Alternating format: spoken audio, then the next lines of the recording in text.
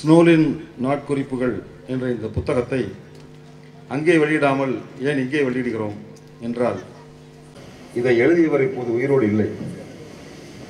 தூத்துக்குடியிலே ஸ்டெர்லைட்டுக்கு எதிரான போராட்டத்திலே அந்த நூறாவது நாளிலே காவல்துறையால் சுடப்பட்டு இறந்து போனாள்.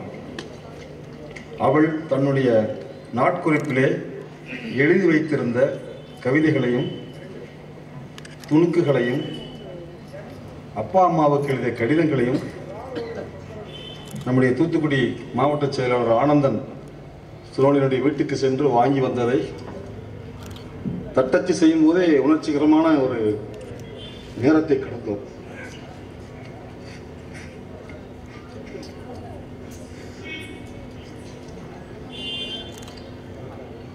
ரொம்ப எளிமையான மனுஷி.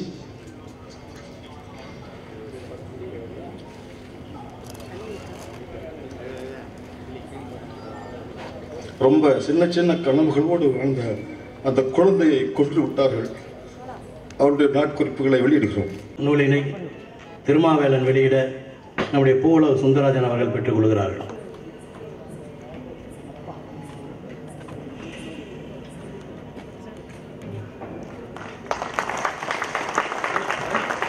நீங்களே சார் நீங்களே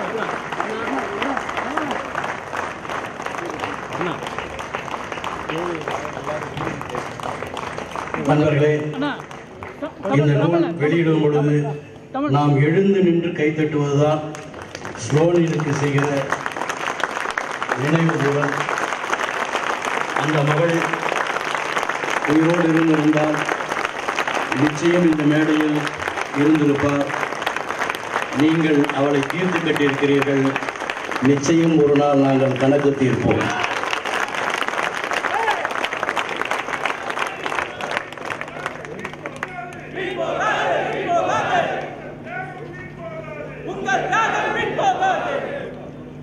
இப்போது திருமாவளவன் வேளாண் அவர்கள் சில வார்த்தைகள். எட்டு நாடுகளின் ஏகாதிபத்திய இராணுவத்தை எதிர்த்து நின்ற மாவீரன் பிரபாகரனிடம் மாவீரன் என்றால் என்ன அர்த்தம் என்ற கேள்வி கேட்கப்பட்டது. அவர் சொன்னார் மாவீரர் என்றால் ஒன்று அவர் தன்னுடைய லட்சியத்தில் வென்றிருக்க வேண்டும். இரண்டு அந்த லட்சியத்துக்காக உயிரை கொடுத்திருக்க வேண்டும் என்று சொன்னார் பிரபாகரன். ஸ்னோலின். பிரபாகரன் சொன்ன இரண்டு இலக்கணத்தையும் மீறிய ஒரு மாவீரர் என்று சொன்னால் அது ஸ்னோலின் தான். ஸ்டெர்லைட் ஆலை மூடப்பட வேண்டும் என்று அந்த பெண் நினைத்தாள். மூடப்பட்டது. அந்த லட்சியத்துக்காக உயிரை கொடுத்தாள். இதைவிட மாவீரர் என்று சொல்வதற்கான உதாரணம் வேறு எந்த பெண்ணும் இருக்க முடியாது.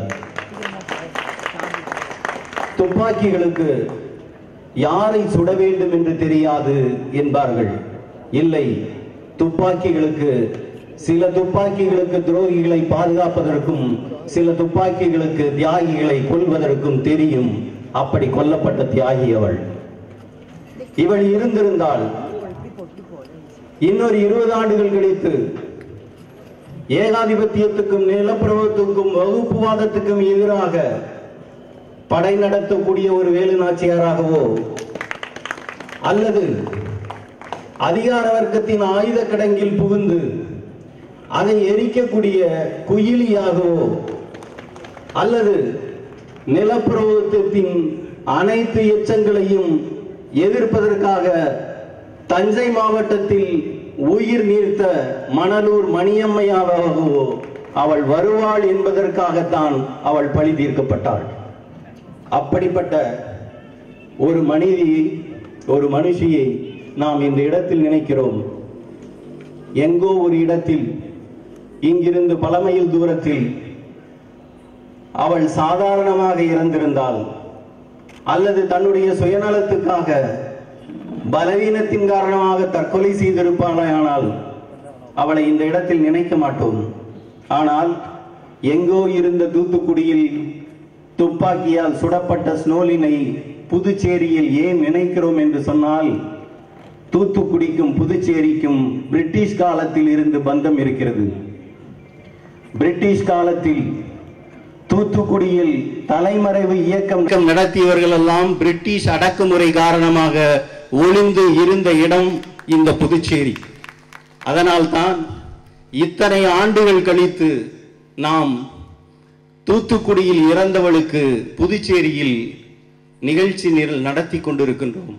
இது இது ஸ்னோலின் எழுதிய கவிதைகளுக்கான விழா அல்ல அவளுடைய தியாகத்துக்கான விழா. அவள் கவிஞன் அல்ல. இதை கவிதை என்று கூட அவள் நினைத்திருக்க மாட்டாள். இன்றைக்கு நவீன கவிதைஞர் கவிஞர்கள் இது கவிதை என்பதை ஒப்புக்கொள்ளக்கூட மாட்டார்கள். ஆனால் அதில் இருக்கின்ற ஒரே ஒரு வரி பேசாத வார்த்தைகளை விட பார்க்காத கண்களை விட நினைத்து கொண்டிருக்கும் வலி அதிகம் என்கின்ற வார்த்தை தான் அவளை நினைக்க நினைக்க வலி ஏற்படுகிறது. அதுதான் தமிழ்ச்செல்வனிடமிருந்து கண்ணீராக வந்தது.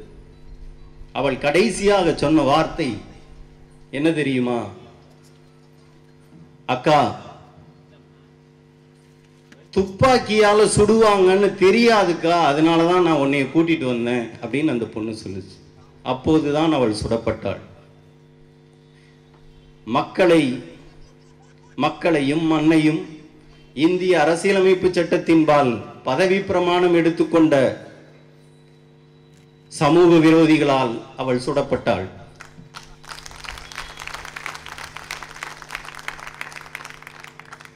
நமக்கு சிங்களவனை விமர்சனம் செய்வதற்கு திட்டுவதற்கு அல்லது புகார் செய்வதற்கு எந்த யோக்கியதையும் எந்த தமிழனுக்கும் இல்லை. சுட்டவன் எல்லாம் தமிழன் தான் ரஜினிகாந்தை பார்த்து நீ யார்? நீங்கள் யார் என்று கேட்ட கேள்வி அனைவருக்கும் தெரிகிறது. நமக்கு சினிமா மாயை. அதனால் அந்த கேள்வி நமக்கு பிரபலமாகிவிட்டது. ஆனால் சீமானை பார்த்து ஒருவன் கேட்டான் ஐயா நீங்கள் தமிழன் தமிழன் என்று பேசுகிறீர்களே. பொட் எங்களை சுட்ட போலீஸும் தமிழன் தான். அதற்கு நீ என்ன பதில் சொல்லப் போகிறாய்? என்று கேட்டான் ஒருவன். தூத்துக்குடி மருத்துவமனையில் நின்று கொண்டு யாருக்கு எதிராக லத்தியை சுழற்றுகிறோம்? யாருக்கு எதிராக துப்பாக்கியை சுழற்றுகிறோம்? என்கின்ற புத்தியே இல்லாத ஒரு சமூகத்தில் நாம் வாழ்ந்து கொண்டு இருக்கிறோம் இதுதான் இன்றைக்கு இருக்கிற அவமானம். நாம் வலியுறுத்த வேண்டிய அறம் என்பது இதுதான். நாம் அறத்தை பற்றி பேசுவதல்ல இந்த அரசாங்கத்தின் அதிகார வர்க்கத்தில் இருப்பவர்களுக்கு எது மனிதாபிமானம் எது அறம் என்பதை வகுப்பெடுத்து கொண்டு ஒரு பெண் போயிருக்கிறாள். அதுதான் ஸ்னோலின் இன்று ஸ்னோலின் நமக்கு காட்டுகின்ற பாடம் இந்த மண்ணை காப்பதற்காக மக்களை காப்பதற்காக நீங்கள் அனைவரும் ஒன்று சேருங்கள் என்பதுதான் அவள் இந்த புத்தகத்தின் மூலமாக சொல்கின்ற செய்தி. நாம் விரும்புகின்ற கூட்டணி என்பது இதுதான். மார்க்சியமும் பெரியாரியமும் அம்பேத்கரியமும் எப்போதும் பிரிக்க முடியாத கூட்டணியாக மாறுகிறதோ அப்போதுதான் வகுப்புவாதத்தை வீழ்த்த முடியும். உங்களுடைய லட்சியம் என்பது வகுப்புவாதம் என்று நான் சொல்வது ஜாதி வகுப்புவாதத்தையும் மத வகுப்புவாதத்தையும் சேர்த்துத்தான். வகுப்பு என்பது ஒன்றுதான். அந்த வகுப்புவாதத்தை வீழ்த்துவதற்கு இந்த மூன்று பேரும் நமக்கு மிகப்பெரிய ஆயுதங்களாக இருக்கிறார்கள். இவர்களை அடித்து வீழ்த்தியவன் ஒரே கோடலிதான். ஆனால் வீழ்த்தப்பட்டவர்கள் மூன்று தத்துவங்கள். இந்த மூன்று தத்துவங்களும் ஒன்று சேர்ந்து கூட்டணி அமைத்து அந்த வகுப்புவாதத்தை வீழ்த்துகின்ற நாள்தான் ஸ்னோலினுக்கு நாம் செய்கின்ற உண்மையான அஞ்சலி என்பதை சொல்லி இந்த வாய் இந்த புத்தகத்தை வெளியிடுவதற்கான எந்த யோகியதையும் எனக்கு இல்லை. ஆனால் இந்த பெருமையை கொடுத்த தாமுயசாவுக்கு நன்றி தெரிவித்துக் கொள்கின்றேன். வணக்கம்.